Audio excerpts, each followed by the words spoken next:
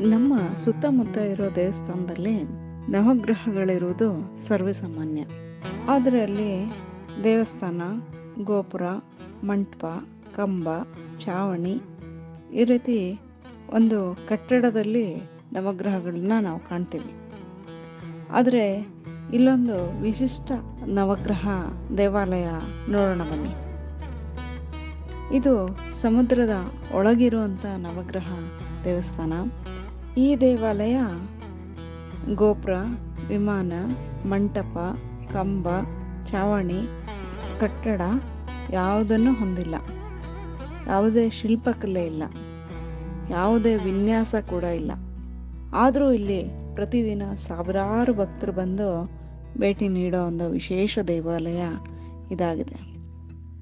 ಸಮುದ್ರದ ಒಳಗಡೆ ಇರುವ ನವಗ್ರಹಗಳೆಂದು ಪೂಜಿಸಲ್ಪಡುವ ಈ ಒಂಬತ್ತು ಕಲ್ಲುಗಳ ನವಗ್ರಹ ದೇವಾಲಯ ಇದಾಗಿದೆ. ಭಕ್ತರು ಸಮುದ್ರಕ್ಕೆ ಇಳಿದು ನವಗ್ರಹಗಳಿಗೆ ಪ್ರದಕ್ಷಿಣೆ ಮಾಡ್ತಾರೆ.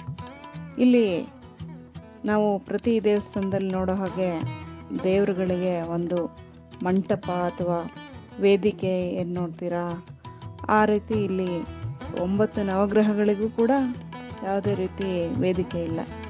ಈ ದೇವಾಲಯ ರಾಮೇಶ್ವರಂನಿಂದ ಸುಮಾರು ಎಪ್ಪತ್ತು ಕಿಲೋಮೀಟರ್ ದೂರದಲ್ಲಿರೋ ಕರಾವಳಿ ಪ್ರದೇಶದಲ್ಲಿ. ರಾಮಾಯಣದಲ್ಲಿ ಉಲ್ಲೇಖಿಸಿದಂತೆ ಶ್ರೀರಾಮನು ಈ ದೇವಾಲಯ ಸ್ಥಾಪಿಸಿದನೆ ಅಂತ ಹೇಳಲಾಗಿದೆ. ಲಂಕಾದಿಂದ ಸೀತೆಯನ್ನು ಮರಳಿ ತರುವ ಪ್ರಯಾಣವನ್ನು ಕೈಗೊಳ್ಳುವ ಮೊದಲು ಶ್ರೀರಾಮನು ಈ ಸ್ಥಳದಲ್ಲಿ ನವಗ್ರಹಗಳನ್ನು ಸ್ಥಾಪಿಸಿ ಪ್ರಾರ್ಥನೆ ಮಾಡಿರ್ತಾನೆ ಅಂತ ಹೇಳ್ತಾರೆ.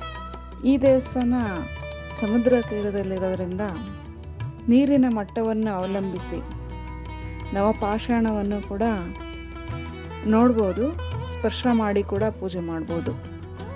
ಆಮೇಲೆ ಇಲ್ಲಿ ಶ್ರೀರಾಮನು ಶನಿ ಪ್ರಭಾವದಿಂದ ಮುಕ್ತನಾಗಿರ್ತಾನೆ ಅಂತ ಕೂಡ ಹೇಳಲಾಗುತ್ತೆ.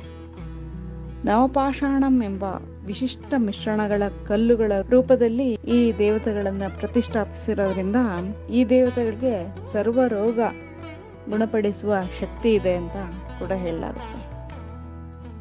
ದಕ್ಷಿಣ ಭಾರತದ ಅಥವಾ ಪ್ರಪಂಚದ ಯಾವುದೇ ದೇವಸ್ಥಾನಕ್ಕೂ ಹೋಲಿಕೆ ಮಾಡಿದ್ರೆ ಇದೊಂದು ವಿಶೇಷ ವಿಭಿನ್ನ ದೇವಾಲಯ. ಇದು ಸಮುದ್ರದಲ್ಲಿ ಇರುವಂತಹ ವಿಶಿಷ್ಟ ನವಗ್ರಹ ದೇವಾಲಯ. ಇದಿರೋದು ದೇವಿಪಟ್ಟಣಂ ರಾಮೇಶ್ವರಂನಿಂದ ಎಪ್ಪತ್ತು ಕಿಲೋಮೀಟರ್ ದೂರದಲ್ಲಿ. ಧನ್ಯವಾದ ಶೃಂಗಪ್ರಿಯ.